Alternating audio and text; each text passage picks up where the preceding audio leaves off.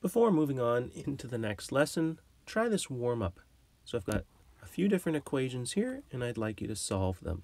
This, of course, builds on the previous lesson where you were asked to solve exponential equations using a common base. So that's your starting point. Pause the video, try these questions, and then check back in to see how you do.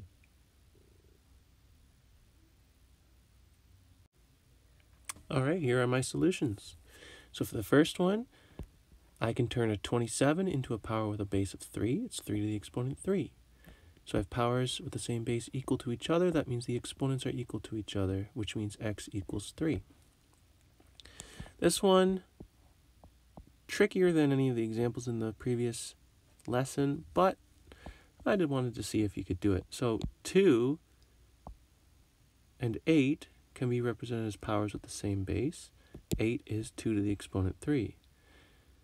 3, or sorry, 3 and 27 can be powers with the same base. 27 is 3 to the exponent 3.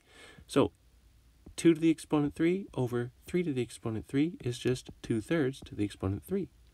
So now we have powers with the same base. The base is 2 over 3. Since the powers are equal to each other, that means the exponents must be equal to each other. x equals 3.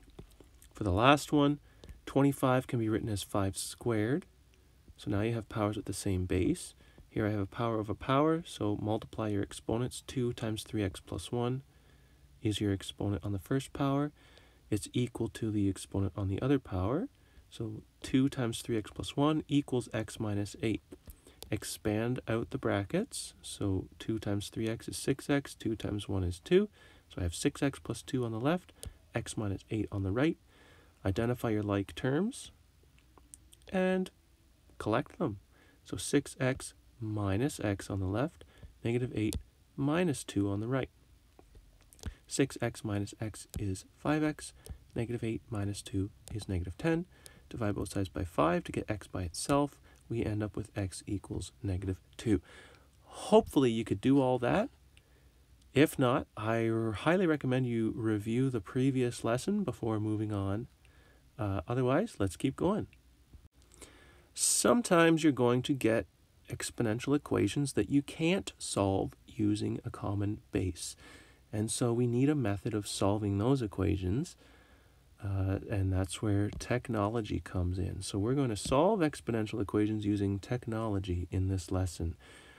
So our goal today is to be able to identify when common base cannot be used to solve an exponential equation and use the appropriate technology to solve the equation.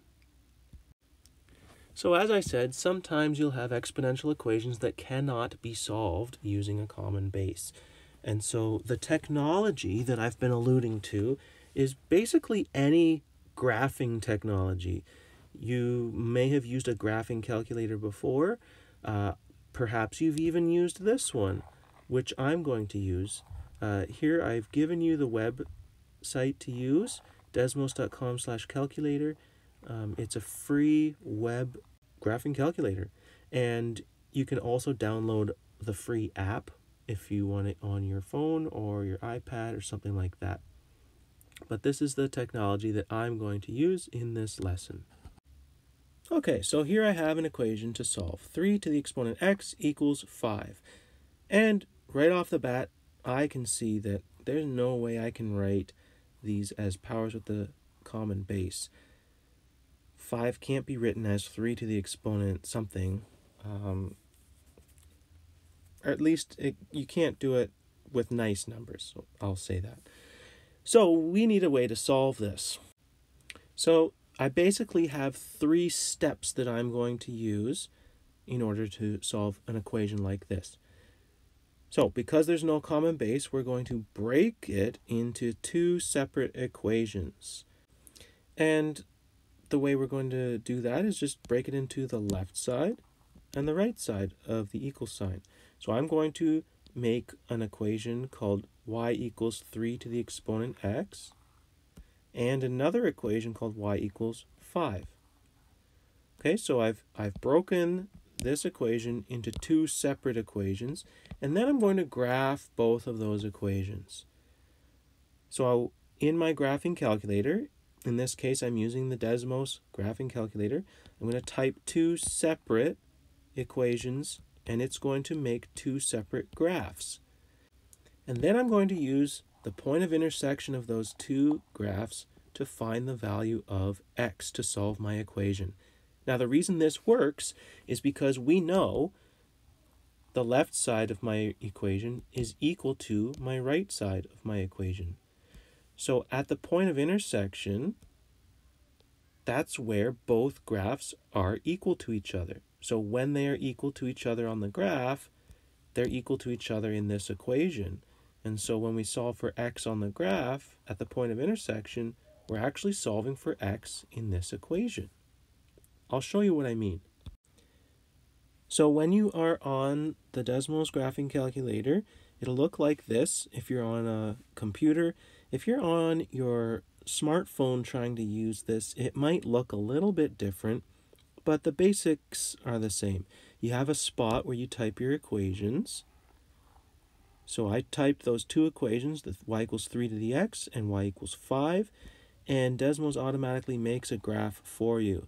Now, I adjusted the scale so that I could uh, see everything, but you just, um, you can click and drag and zoom in and zoom out on the graph so you can find the point of intersection.